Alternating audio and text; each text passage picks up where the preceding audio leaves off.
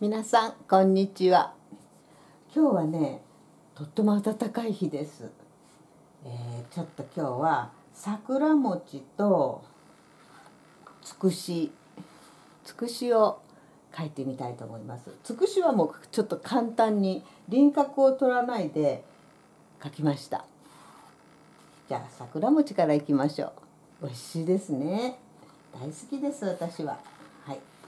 ではこの辺かな？この辺かな？はい、えーこれは割り箸で描きました。ちょっと真ん中の線を入れましょうかね。スイーって。つかないなあんまり。じゃあこうスイーって入れた。ここにこの傭兵がありますね。そしてこうして。桜の葉っぱはギザギザ。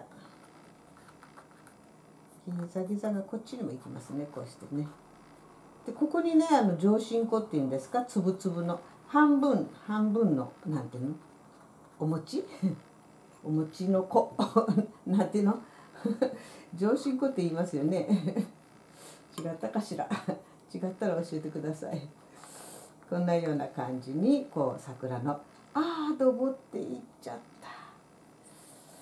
もう一回書き直しようかな。はい。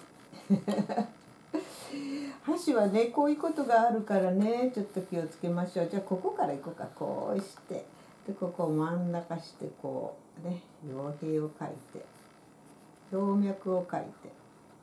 こうふっくらふっくらふっくらふっくら。ふっくらふっくらふっくら。ね。こっちもこうだね。ここ。そしてここにふっくらとお餅が入っております。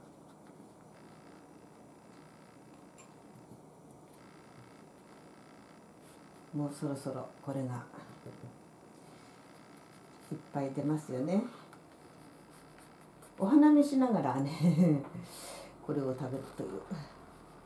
はいこうしてギザギザギザギザギザギザお餅お餅お餅お餅簡単ですよこれねそしてあとはねお皿はね手作り皿手作り皿がいいですよどんな形しててもいいんですよね手作りだから歪んでてもいいしということで私はいつも手作り皿として 描いてしまいます。えっ、と葉っぱの色はですねこの青草。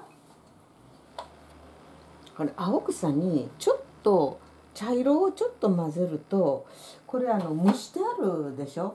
だからちょっとこう蒸して赤くなったようなそんなちょっとそんな感じを出したいと思います。ちょっとだけ茶色入れてね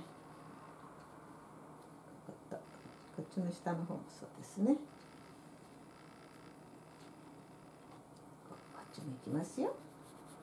私はねこの葉っぱごと食べちゃいますね。ちょっと塩気があって美味しいので。皮は剥かないですね。はい。こんな感じに描きましたら中はそうです。勾配。勾配で淡いピンクのもち米？ちょんちょんちょんってちょっと入れたらいいですね。さあそれからもうこのお皿は好きな色でいいんですけどもこれをオリベにするとこの葉っぱと焼いてしまいますのでちょっと今日は水色にしていきましょう。スイスイスイって。ね。スイスイスイと。そしてこのちょっと藍色でねここのところにちょっと影が見えるかな。まあそう描かないでもいいんですけどこんな感じ。はいどうぞ。どうぞ。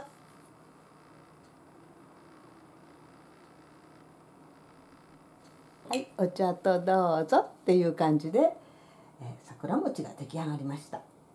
では次はですね。くしの坊や。つくしの坊や描きますよ。ね。このつくしの坊やは、えー、どの辺？この辺？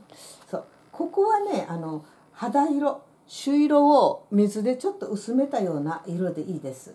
この頭とこの,、えー、とこの袴がねちょっとややこしいんですけどもとりあえず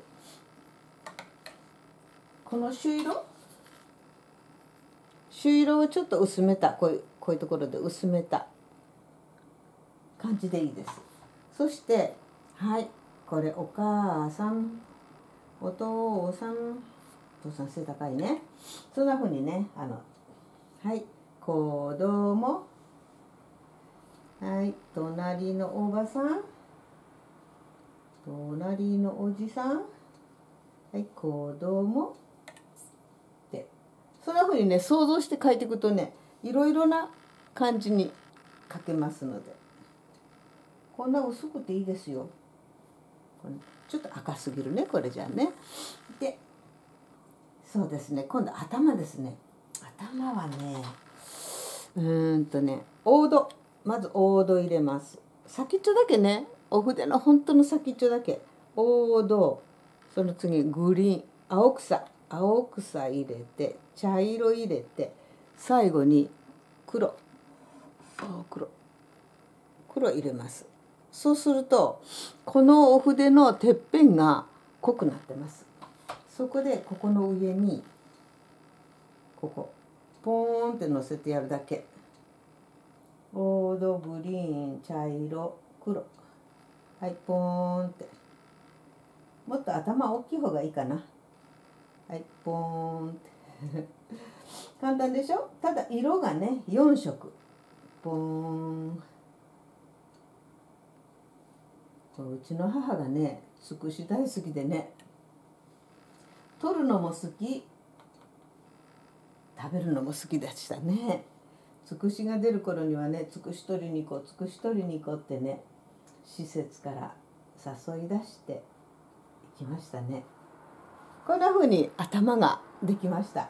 そしたら同じ同じ色でいいんですけどもちょっと細い筆にした方が袴の上のトギトギが出るかもしれませんのでまたはい黄土具青草茶色黒っていう感じに入れたらそうですねこうしてねポンポンポンポンってこんでいいです。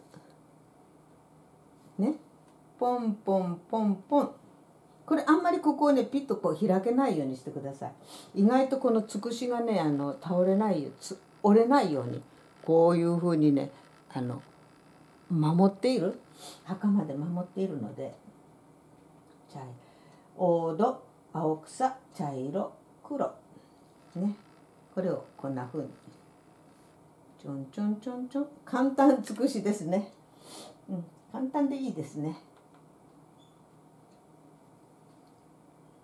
うちの方はねもう田舎ですからねもうちょっとそこら辺歩いたらねつくしありますよ。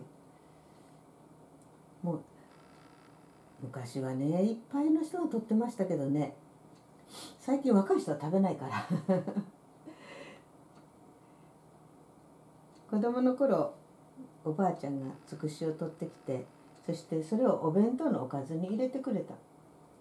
そうして私がつくし食べてたらねみんながね「う臭くっとる臭くっとる」ってねちょっといじめられたことありましたね。でも大好きです。私はつくしを、えー、酢の物にするのが好きですね。さっと湯がいてねあの美味しい酢美味しい酢にね入れるだけ。ねちょっとこの子デブちゃんになりましたね。まあこういう太った子もいるでしょう。ちょっと顔まで頭までこんなような感じです。ね、それからそうね頭の方ね黒でいいからちょっと下向いた方に点点点横横に。見えます？こう。こっちこっちにしようかとか。こっちはこっちにしようかとか。全部やらない方がいいですねこれ。全部やらない方が。半分。半分でいいですこう。まあ顔の方かなっていう感じ。向いてる方かなって感じ。てんてんてんてんてんてんてんてんてんてんてんてんてんそしたらつくしは草の中に生えていますので、うん、そうねこの若葉とか青草とかでつくしの上にも草を描いてくださいこうしてピッピッピッピとねまあ上から私描くの好きですねこう下からでもいいですけどね上からつくしのねあのつくしの上にも乗せてください草よく描かれる人はねこのつくしを避けてね描かれるんですけどつくしのねあのな草の中につくしってあるでしょ？だからつくしの上にもかけちゃってください。そしてそうですね。黄色。黄色で朝日を朝日じゃない春の日差しをバーッとここにちょっと黄色で網かけして、そして網かけする前に字書いて書いた方がいいですよ。ちょっとしみります。はいつくしの荒野が顔出したと。ねこんな感じで。都会の人だとねつくし生えてるとこも見たことないかもしれませんね。はいこんな風に桜餅とつくしの坊やが描けました。皆さんもちょっと書いてみてください。簡単ですから。たくさん書いた方がいいですね。2家族3家族ぐらい書いた方が楽しいと思います。もう終わってしまいましたけどもはいではまた次の動画でお目にかかります。ありがとうございました。